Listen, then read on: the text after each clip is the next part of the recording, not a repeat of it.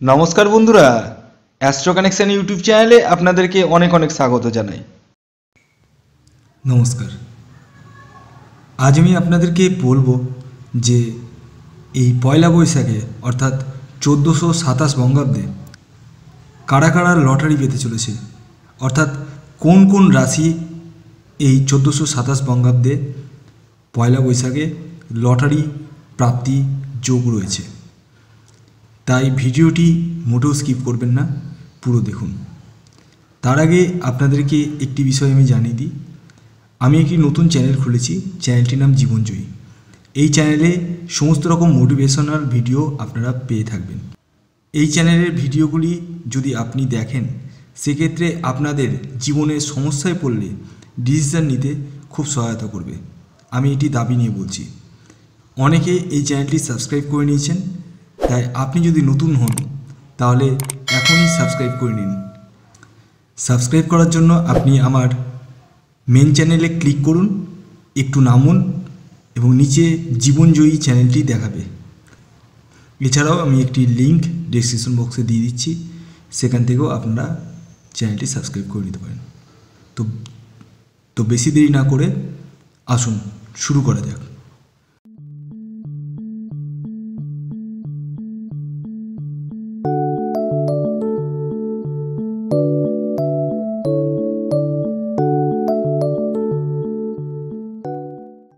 পয়লা বৈশাখে কোন কোন রাশির লটারি লাগার সম্ভাবনা রয়েছে, সে বিষয় নিয়ে আমি বলতে চলেছি। তার আগে আপনাদেরকে আমি একটি বিষয় জানিয়ে দিই, যে সকলে লটারি কাটলে কিন্তু লটারি লাগে না। আপনাদের মধ্যে অনেকে আমাকে কমেন্টস করেছেন এর আগে, যে, স্যার, আমার কেন লটারি লাগছে না? কি কি প্রবলেম কিছু প্রবলেম আছে নাকি? তো দেখুন, আমি আজকের ভিডিওতে আগে কি কি কন্ডিশন বা কি কি প্রবলেম সমস্ত কিছু আপনাদেরকে বলতে চলেছি। তাই এতটুকু স্কিপ করবেন না, মনোযোগ সহকারে শুনুন। দেখুন লটারি কিন্তু আমরা সকলে চাই লাগুক। প্রত্যেকেই চাই, সে আমরা গরিব হই আর বড় হই। প্রত্যেকেই চাই লটারি লাগুক। তাই জন্য আমরা নিজেদের লাককে ট্রাই করি।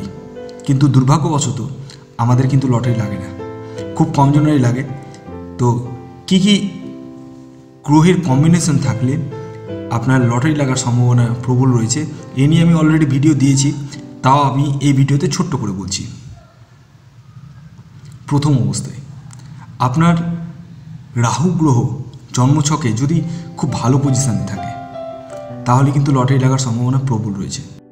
এছাড়াও, শুক্র গ্রহ যদি আপনার খুব ভালো পজিশানে থাকে, তাহলেও লটারি লাগার সম্ভাবনা রয়েছে। তাই আপনার জন্মছকটিকে অ্যানালিসিস করে নিন যে আপনাদের এই দুটি গ্রহ খুব ভালো আছে নাকি। কারণ আপনারা হয়তো জানেন এই বছরটা রাহুর বছর দু হাজার কুড়ি সাল।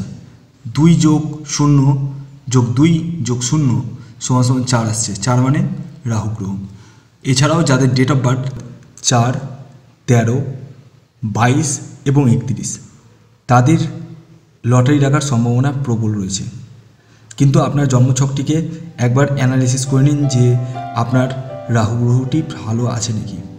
কারণ আমি চাই না যে আপনাদের মূল্যবান পয়সাটা নষ্ট হয়ে যাক।